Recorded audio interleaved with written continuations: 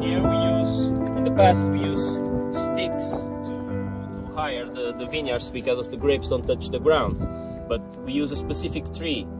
But now that tree is protected by law, so we can cut that tree to use it. So we use the rocks and put like this to get higher.